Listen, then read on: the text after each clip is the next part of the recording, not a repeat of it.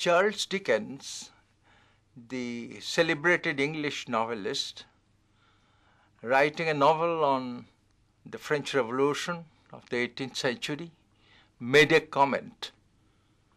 It was the best of times, it was the worst of times.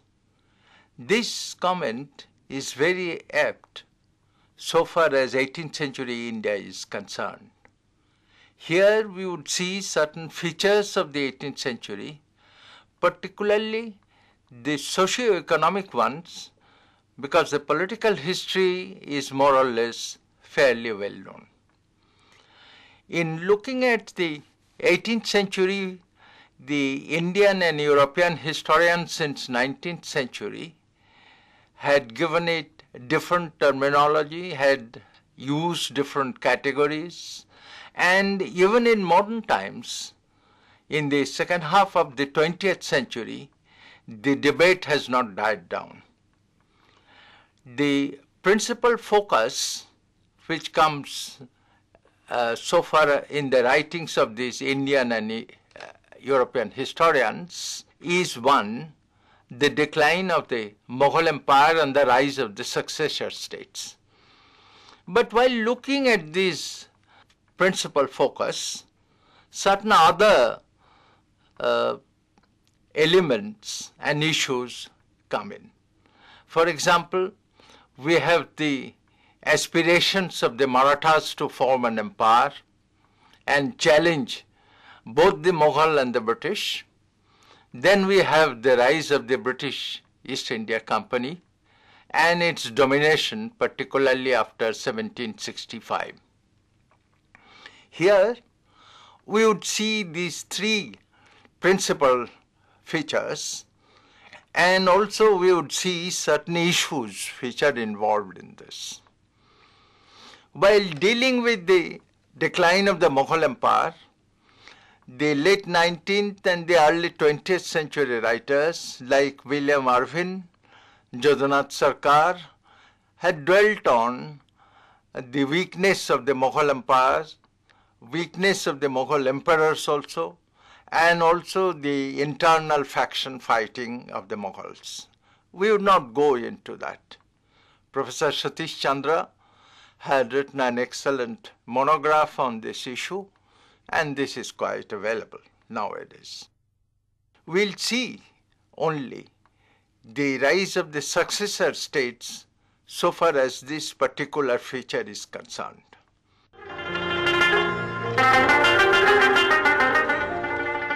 Before we go to the successor states, we see certain issues involved in it. One was that there had been attempts to see that apart from the faction fighting, apart from the personal weaknesses of the Mughal emperors, there were other issues involved, other effects involved also in the decline of the Mughal empire. For example, Ashin Dasgupta has seen the downfall of Surat, which is a link, according to him, with the decline of the Mughal Empire. This view has been recently criticized and uh, more or less it continues to hold its ground, but there are criticisms on this issue to a certain extent. At least after 1750, this becomes a different issue altogether. Then the other issue that comes up is the de-urbanization. That is the urban areas of Mughal India were falling into pieces. Count of Modave, the Frenchman, came to India, particularly to North India, around 1774 and he has described in detail the devastated ruins of Agra and Delhi. The Indians also are witnesses to this kind of devastation. Mir Taqi Mir, who was in Delhi as a court poet, had gone to Faizabad, to Nawababad in the late 18th century. And when he was asked from where he was coming, he said, Delhi jo ek shahar tha, alam mein intikhab. Delhi was once a city. It was the people of the eye, and he was living there, and it has been totally ruined and devastated. So therefore, this devastation theory, the deurbanization theory, was holding good for some time. But then certain new elements are coming, new researches are coming, which show that there are problems in totally accepting this thesis. For example, C.A. Bayly, in a uh, book on the bazaars of North India, markets and bazaars and towns, has found out that new areas are coming up, new urban areas are coming up, and that new people, new business contacts are going on. Muzaffar Alam, about whom we see a little bit later also, he had shown that Oudh and Bengal were becoming prosperous in the second half of the uh, 18th century starting from the first half itself. But the fact remains that since then, other American writers are insisting on certain other issues like the social cohesion of the community and so on and so forth. Not all of these could be entertained or even accepted, but the fact remains that these are coming out in quite large numbers.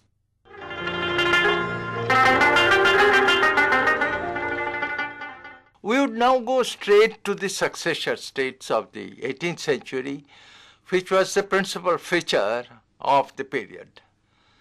Generally, we can divide the successor states into two types. The first one is that those states founded by those people who were either Mughal nobles or who had excellent contacts with the Mughals. Bengal, Awadh, Hyderabad, uh, Jaipur fall in this kind of cate- category. The second one is a kind of state who, which were anti-Mughal Maharashtra, Jats, Rohillas, and so on and so forth. So therefore, one would have to see a little bit of these, some elements of these successor states, to see that although we had put them in a certain category, there are differences within and there are vast differences between one region of the country and the other. Beyond this lies the aspiration of the Marathas to form an empire, which we would see also, and also the rise of the English East India Company as a dominating power, first in Bengal and then in the North India, with devastating effects. But first we come to the successor states whose founders were connected with the Mughal system.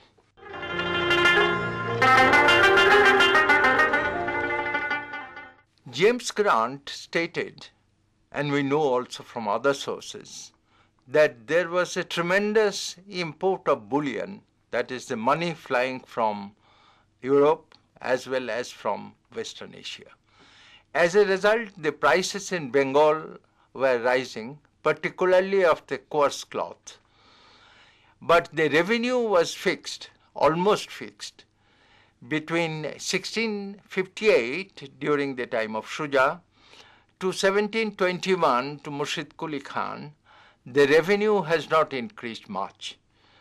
It remained at 1 crore 10 lakh of rupees, but there were certain extra taxes which were taken, part of which were appropriated by the zamindars who are also very happy. But this shows that there was no connection between the revenue and the prices. The revenue was slowly increasing, Prices were slowly increasing also, but then the revenue stopped till 1765, after which it uh, uh, rose tremendously. But the prices began to increase very, very slowly. One of the reasons it has been stated, and perhaps it can be criticized also, that in Bengal, the Murshid Quli Khan and his successors they depended to a very great extent on uh, merchants like uh, Jagat Seth was ex- exactly a Mahajan and not a merchant. It is through Jagat Seth that the revenue was being sent to Delhi and he gradually became a very important figure dominating the mint of Murshidabad at the same time.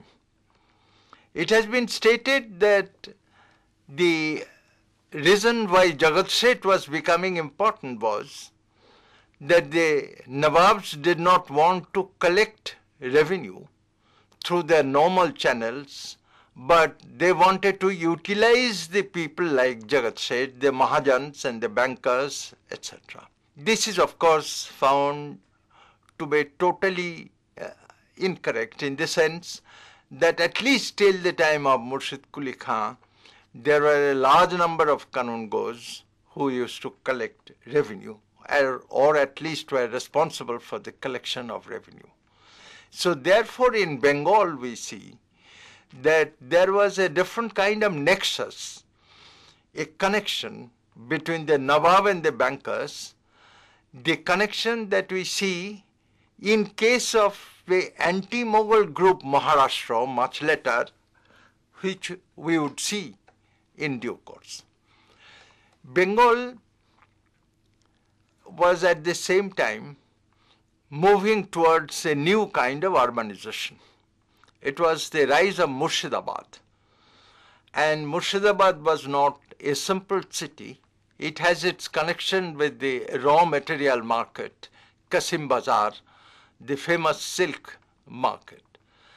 Now, Murshidabad, according to Lord Clive, who came there in 1764, stated that Murshidabad population was greater than that of London. He was, of course, totally amazed when he went to see the treasury, the huge treasury of the Murshidabad Nawab, all of which vanished within another 50 years. This kind of a nexus, this kind of urbanization, and this kind of the huge accumulation of wealth could partly be seen in case of Awadh.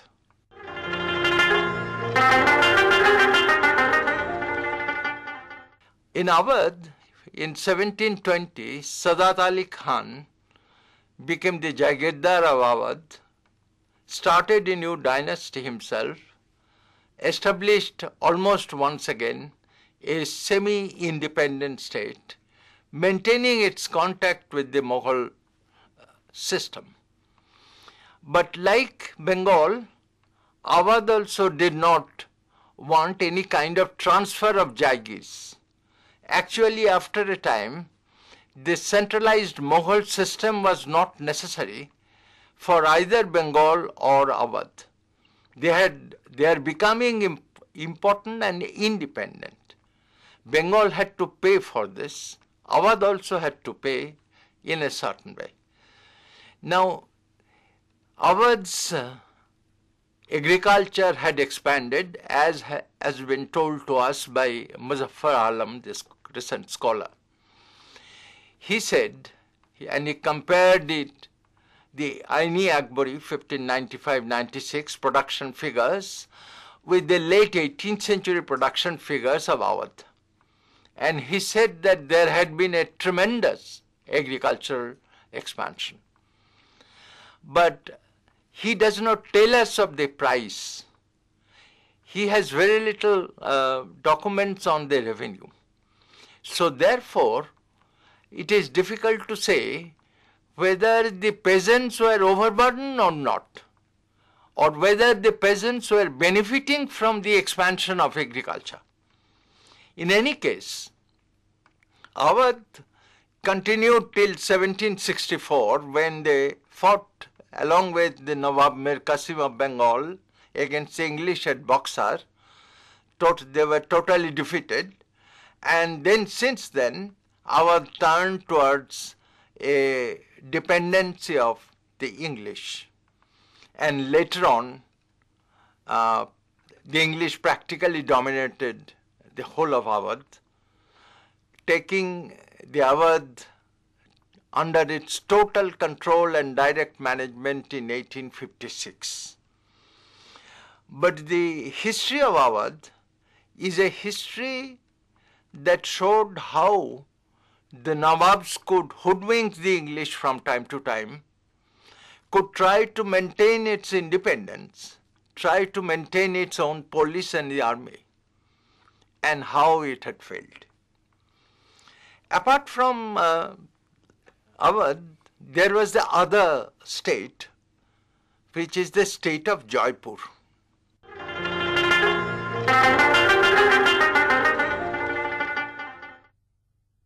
Jaipur was one of the Mughal vassals, Mughal Mansabdars one might say. Man Singh became the first Mansabdar under Akbar and since then his dynasty continued to be the Mansabdars of the Mughal Empire.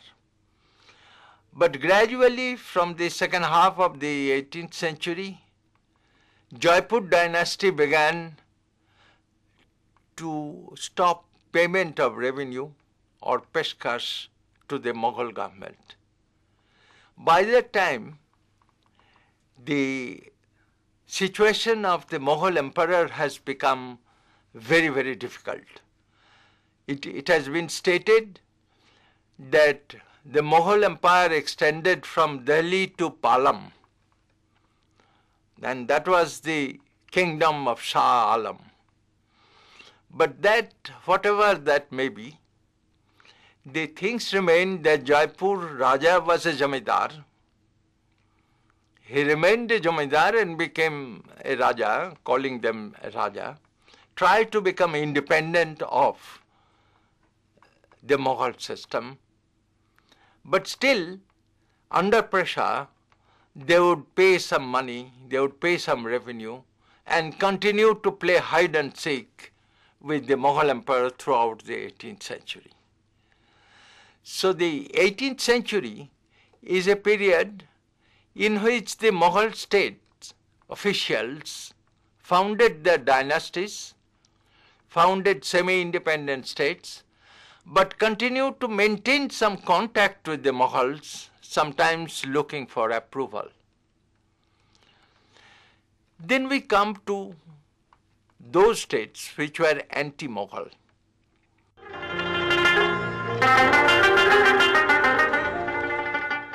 In this anti-Mughal state, the most important and the most powerful was Maharashtra. Maharashtra's origin, or it's the origin of the leaders, could be seen in their jamindaris. They were the jamindars of the area, and therefore their outlook to a certain extent had remained confined to the outlook of a Zamindar, but at the same time, they were trying to formulate an empire covering entire North India and the Deccan.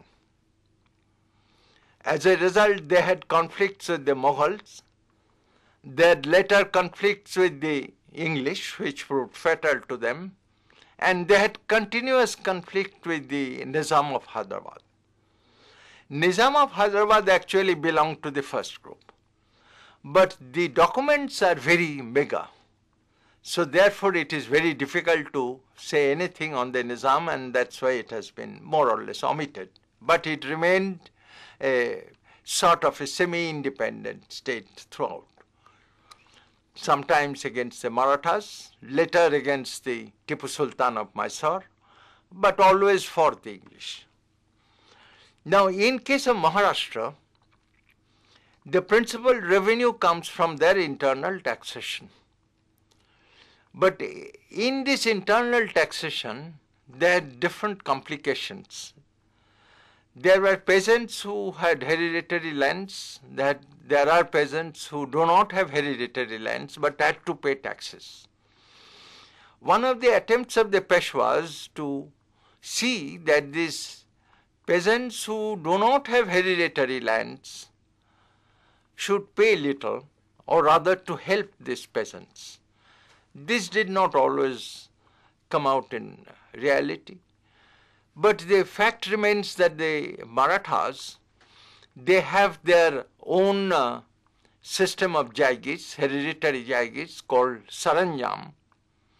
They had the right, they claim, of levying two taxes, Chauth and Sardeshmukhi, which they levied from the late 17th century of Shivaji's period. They had also what is known as Mulkgiri, the expansion outside and they plunder outside. So as a state it had certain contradictory functions. On the one hand trying to help the peasants who do not have lands. On the other hand they were trying to extend an empire and plundering the areas and then again they do not want the transfer of Jaigis, this should remain. So therefore there are different kinds of policies inherent in the system of Maharashtra's administration. Now in this system, the principal one which came out from 1750 onwards was the formation or rather the control of northern India. And it was the third battle of Panipat that was devastating for the Marathas, but they came up again.